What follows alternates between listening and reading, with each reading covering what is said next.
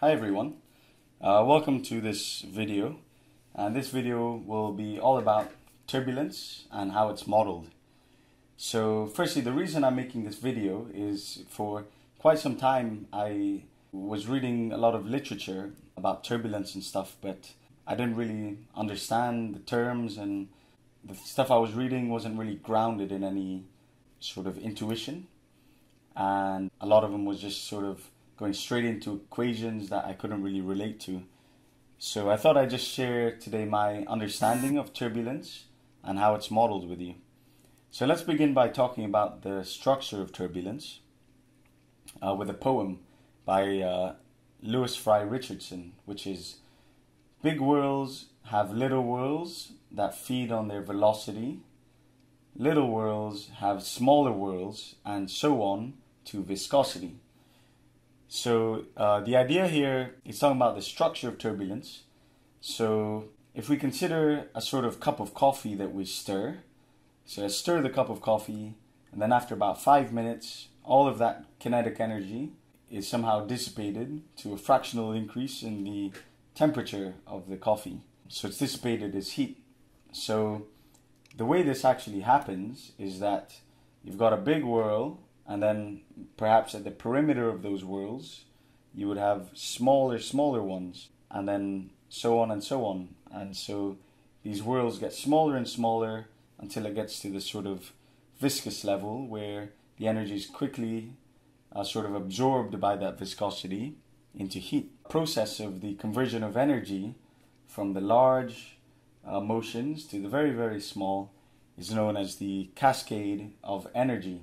Now, due to this exact process of very, very big motions being converted down smaller, smaller scales and also down the time scale, so those little whirls happen much more quickly than the big whirls. For this reason, it's quite difficult to model it because if you're trying to, you know, numerically solve the Navier-Stokes equations and also uh, replicate this effect, you need to be able to capture all of the length and time scales. So you need a very high uh, spatial and temporal resolution simulation in order to capture all of this data.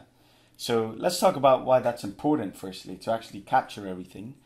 Uh, if you consider the uh, momentum equation of the Navier-Stokes equations, shown here on the screen, this equation is basically Newton's law, force equals mass times acceleration, applied to fluids. So on the left hand side, we have the acceleration term, and on the right hand side, we have the force terms. The first part is the pressure gradient, and the second part is the friction due to uh, viscosity. If we consider a car traveling at 60 miles an hour, the pressure term will be around a million times bigger than the viscosity term. So you might be considered to drop the viscosity term and just solve for the pressure term. Now, the problem with doing this is that if you, by definition, if your fluid has zero viscosity, then the drag will be zero. So obviously, you can't just do this. A more practical example of the interaction between the tiny scales and the large scales is this experiment uh, known as the Prandtl wire trip experiment. So here you've got a perfectly smooth sphere in a sphere, uh, sphere in a flow, and here in the other picture we've added a tiny wire. The diameter of the wire is only one one hundredth of the sphere, but yet um, it's had a massive effect on the flow and also a massive effect on the drag of the sphere. In fact, the drag is decreased. So this is another illustration of how the tiny scales do have an important uh, impact on the flow. So this just highlights the, the, the difficulty with, firstly, the, the importance a tiny difference in the tiny scale can have a big in, impact on the overall flow. And secondly, you know, it's difficult to resolve all the scales because you need a very powerful computers. So uh, one branch of simulation that actually resolves all the scales is known as direct numerical simulation. For this, you need very, very powerful, probably supercomputers, and they're limited to very small geometries for this reason. So the question you may be asking is, well, are we stuck here then? Because we, we just can't resolve everything. um, for like practical applications like planes and cars and trains and trucks. But luckily, luckily for us, about a hundred years ago, uh, someone found out something interesting about turbulence, known as the Boussinesq hypothesis. So this is basically the idea that turbulence has an effect of thickening fluids. So turbulence causes fluids to behave like they're more viscous than they really are. And you can understand this if we look at the actual cause of viscosity, which is the uh, tiny interactions between molecules and very viscous fluids. The particles are able to transfer their momentum onto other fluids. So when one particle wants to move, it causes the other particles to move in that direction. And so in that way, it makes things thick, like honey. You know, if you try to dra- drag your finger through honey, a lot of it's going to try to move. Whereas just water, it will just easily sort of move through. So turbulence can have the same effect in a fluid. So by those small eddies we've talked about, uh, it actually improves the way that the momentum is transferred uh, you know, from one part of fluid to another. So this has been a very useful discovery because most models use this idea to say that if we're able to, you know, model the effects of turbulence, then we can know the overall flow without actually having to resolve each and every tiny little eddy. So a lot of turbulent models incorporate something known as the eddy viscosity. So this is basically an additional viscosity added on to the current viscosity, which is basically accounting for the effects of turbulence on that flow.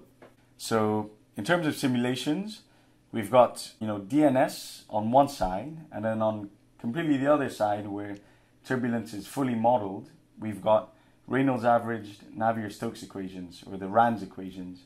So the idea for the RANS method is that we're able to estimate the eddy viscosity um, in different parts of the flow using different methods.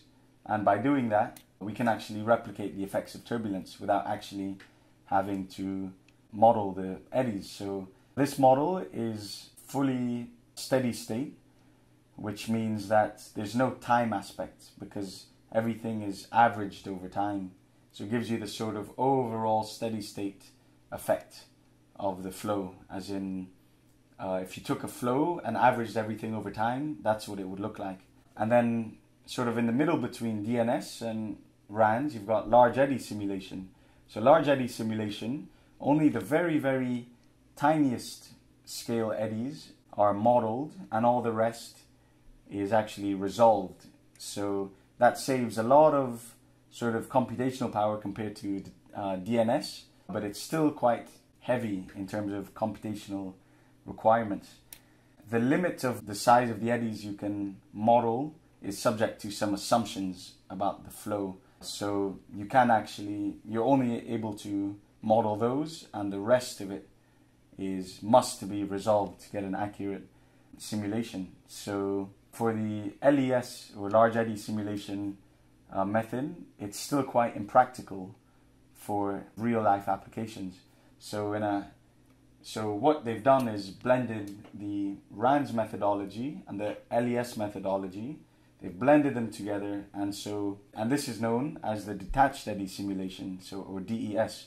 So where the, there's enough uh, resolution to model the uh, eddies correctly, they use the LES method, and in everywhere else where it's uh, there's not enough temporal or spatial resolution, then they'll use sort of a RANS model to compensate for the turbulence. So detached eddy simulation is a good all-round um, simulation for sort of unsteady effects like uh, if you're studying instabilities or sound or anything like that. For most practical things, the RANS is the best way to go because it's reasonably accurate and is computationally has a, a low demand.